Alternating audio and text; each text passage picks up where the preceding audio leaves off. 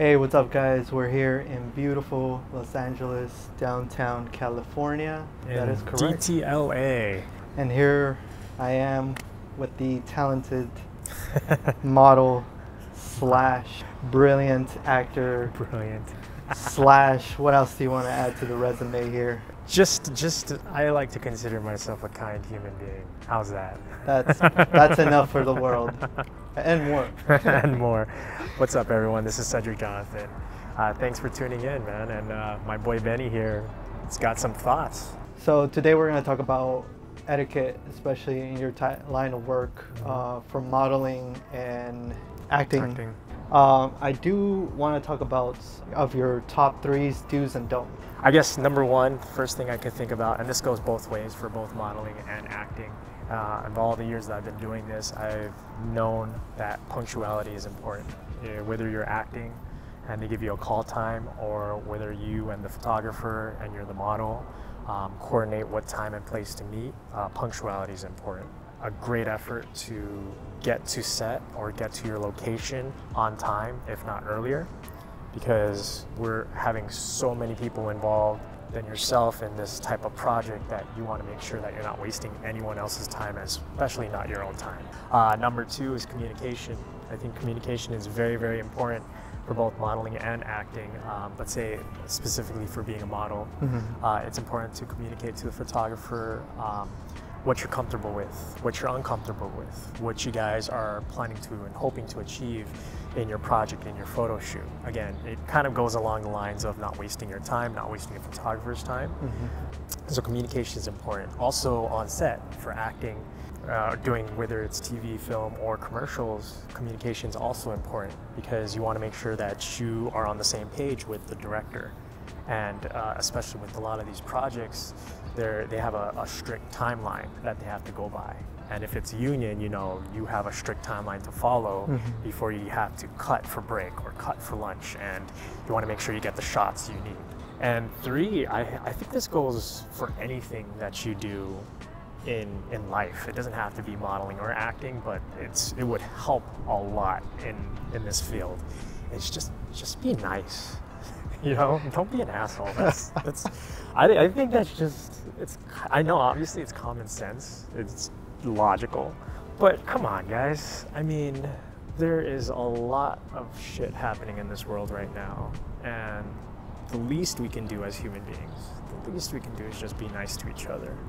You know, just have some empathy, some understanding. Don't be disrespectful. Mm-hmm. Nice goes a long way. We call it aloha. Just show aloha. Just have aloha. Just live aloha because it will help a lot. It will help everyone else on set to feel comfortable with you. It will help the photographer feel comfortable. It will help you as a person, as a being, um, in front of the camera, uh, knowing that you are, you know, just bringing out this niceness about you, just sending out positive vibes, it will make things go very smooth.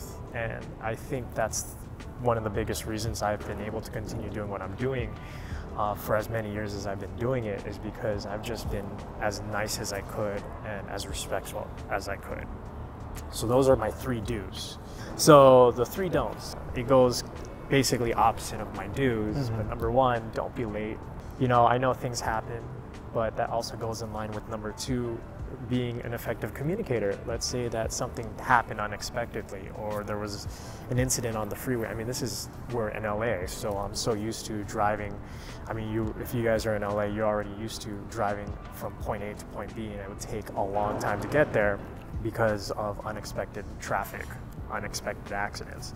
I'd rather have someone who communicates with me and saying that either they won't make it or they're going to be really late rather than somebody who's ghosting me and not communicating with me at all yes, times. and that's a great point you put out there because, look, I consider this basically a butthole move. Hmm. If you were to confirm a time and date 30 minutes before that time and date of when you're supposed to meet up, and then you automatically say, hey, I'm sorry, I gotta cancel. Obviously, things happen and you don't expect it to. If it's something that's literally outside of your control, that's totally understandable. But if it's something that you already knew you weren't gonna make, but you end up texting or telling the person, 30 minutes prior to your set time and I'm not going to be there, that is a terrible thing to do because more than likely the person that's meeting you there is already halfway, if not almost there. Yeah. So they drove for nothing. And if, like my boy here, Benny, drives all over the place, I would hate to do that to him if we were to meet at, let's say, downtown LA, which is a far drive from you. And let's say we meet up at 4 p.m. and at 3:30, I'm like, "Hey, Benny, I'm not gonna make it," and you're already on the freeway you're not going to make a U-turn on the freeway. You're just going to kill some more miles to take the nearest exit and then go back, or maybe kill time. My number twos of don't is being just like closed. You can be working with someone on set and they don't give you anything.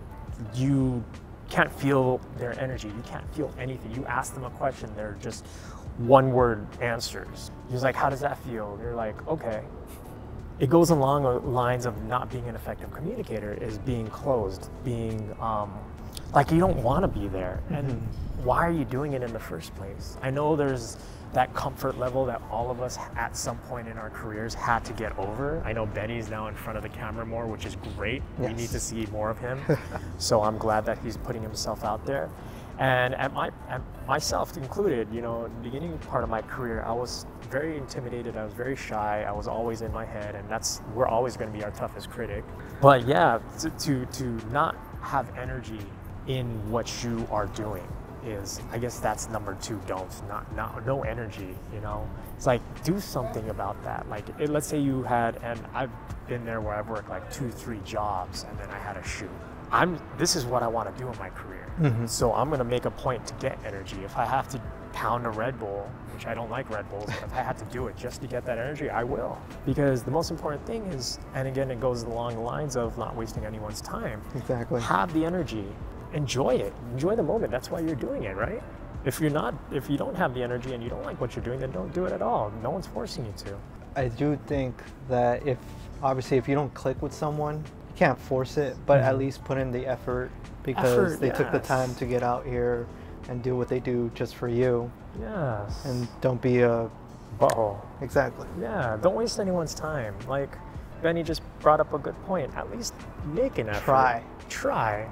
You know, no one's gonna be pissed about you not trying, but if you don't even make an effort, then you're just wasting your time and you're wasting everyone else's time. And yeah, that's not cool, man. Don't that's be a butthole. Cool. Don't be a butthole.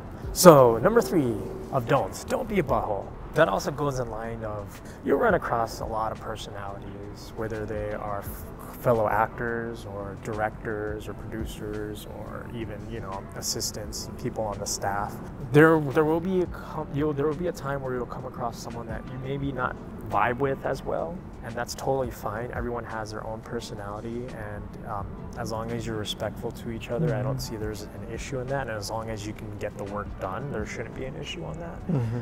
but like you shouldn't have I don't think anyone is right to have some form of entitlement whenever they're on a set or whether they're on a shoot. Yeah, don't belittle so, anyone. Don't belittle anyone. Don't feel like you're above anyone else. You're all on the same level. You know, I treat everyone the way I would like to be treated, which is such a golden, underrated rule. Mm-hmm. And, and, like Benny said, don't belittle anyone because you don't know what it took for them to get there. Yeah. We're all and in the same path. We are all in the same we, path. got different timings, but we'll all get there eventually. Exactly. Yeah, just enjoy your time on set, enjoy your time on the shoot, and just and that will be very infectious. You know, having fun, even if you may have to force it a little. Yeah, just just having fun is so infectious, and it, it's contagious. It gets around everyone, and that goes along the lines of energy. Having that energy and then just being nice. And I think when you have all those things, the end result will be brilliant. Mm-hmm. It'll be amazing. The only thing that can stop that is outside of our control, like nature. Yeah. Well, I'm glad that you told us your top threes, do's and don'ts. That was amazing, and it really helps out the people who are watching this. You know, yeah. That way they can get an inside view of how it's like in the industry. Thank you. Yeah, thank you for having me, and um, I, I, really appreciate you yeah. actually wanting me to share what my experience have been. I do have some bonus questions for you, though. Bonus questions, bring it. If you had a short tip for someone who's barely starting in the industry, mm-hmm.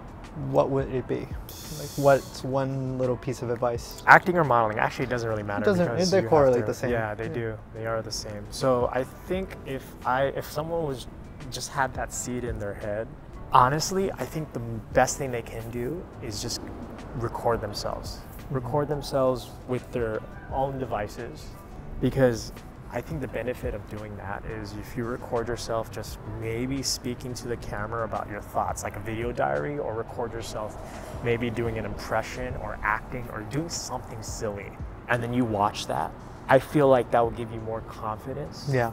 of accepting yourself for how you look like in front of the camera on, on the screen. Because for the longest time, and I've done, you know, a good good handful of projects. I actually have a movie that's out right now. Um, Whoa. What's yeah, the name? Or we um, can't hear it. No, you can hear it. Actually, they, the producers haven't um, disclosed it yet, so that's why I haven't really shared it. But you can actually watch it on Roku. What? It's a rom. It's a it's a rom rom com. It's actually a rom com, yeah. But um, I play the, the the lead. It's called Romance in Hawaii. wow. Yeah, it's it's it was supposed to be marketed. I don't know if I'm supposed to say this, but whatever. It was supposed to be marketed for Hallmark, but I guess they didn't pick it up, so it's now on Roku. If we can, I guess you can drop me the link and maybe I can put it in the oh, yeah. descriptions below. Yeah, I'll, put, I'll drop you the link. You guys watch it, see what you think. Um, but um, for the longest time, I was so uncomfortable watching myself in front of the camera. And when I did movies, Mhm. or I even did commercials, I've done a ton of commercials. I would always try to like look away whenever my part came up, and that was because I wasn't comfortable seeing myself. Yeah. And I think the best thing you can do if you're just starting off and you know you have that seed planted in your head that maybe this is something you want to pursue and if it is, great, go for it. Don't look back because it's such a rewarding experience for me. Just record yourself. Cell phone selfie, record yourself, do a daily diary, do an impression, do something silly, lip sync to a song. Yeah. Whatever it is, that way you get used to seeing yourself. Be creative. Be creative that way, yes. That tip is really, really helpful. Um, my other question for you would be, where can we find you, like on your socials, and Oh, how yeah. can people reach you and contact you if they want to work yeah, with you? if you sell? wanna if you wanna collab, you wanna reach me.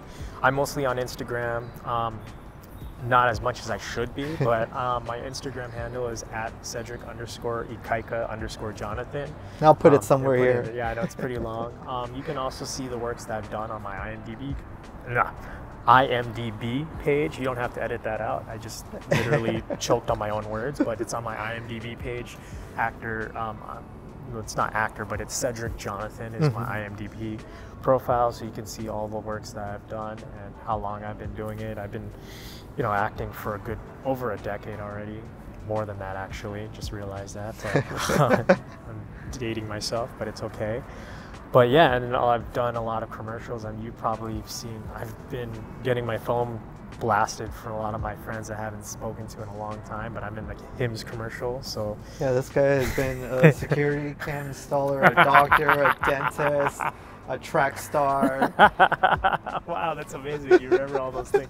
I've, I've worn many hats in front of the camera, and um, And there's m- still many hats to go. yeah, exactly, exactly. And then hopefully, you know, if you guys are watching this and something that I said resonated with you, and then if you want to share your experience or whatnot, please reach out to me. I'm very, very interested in lear- learning more from other people's experiences and maybe even learning from them as well too, because we're all in this together. So I'm glad you took the time to come out here.